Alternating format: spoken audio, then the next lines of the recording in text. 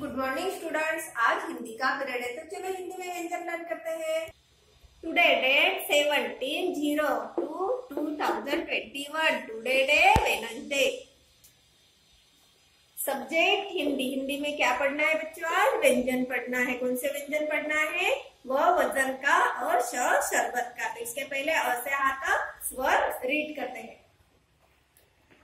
स्वर, अ, से आ तक बोलो बच्चों मेरे साथ, अ, अनार का आ आम का, ई, इमली का, ई ईख का, उ, उल्लू का, उ, ऊन का, रु, ऋषि का, ए, एड़ी का ऐनक का, ओ, ओखली का, औ, औरत का अंग अंगूर का, आहा।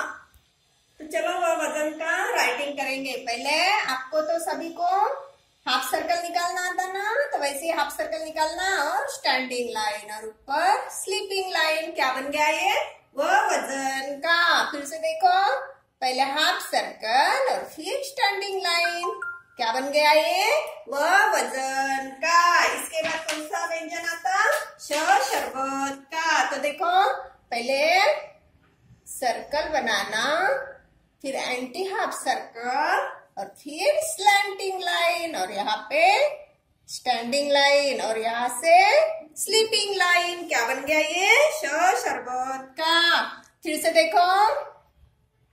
छोटा सा सर्कल निकाल के anti half circle slanting line और स्टैंडिंग लाइन और ऊपर स्लीपिंग लाइन क्या बन गया ये?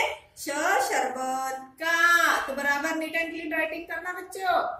हिंदी की वर्कबुक निकालना है, वह वज़न का पेज निकालना है ट्रेसिंग पार्ट पे वह वज़न का ट्रेस करना है, और नॉन ट्रेसिंग पार्ट पे आपको नीट एंड क्लीन राइटिंग करना है और रीड करना है।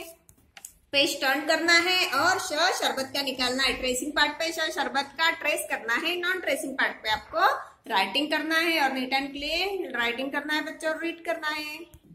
होमवर्क कॉपी में एच डब्ल्यू डालना है, व्यंजन हेडिंग डालना है डेट डालनी है और आपको क कमल से ज जहाज़ तक सेटिंग करना है, फिर थ्री लाइन छोड़नी है, फिर झ झरने से त तलवार तक आपको सेटिंग करना है, फिर से थ्री लाइन छोड़नी है, फिर थ थवे से भ बालू तक सेटिंग करना है, फिर से थ्री लाइन छोड़नी है, फिर म मछली से श शरबत तक आपको सेटिंग करना है। देखो बच्चों, वो वज़न का टू टाइम्स आएगा और श शरबत का टू टाइम्स आएगा और neat and clean two line में आपको प्रॉपर राइटिंग करना है बच्चों और रीड करना है।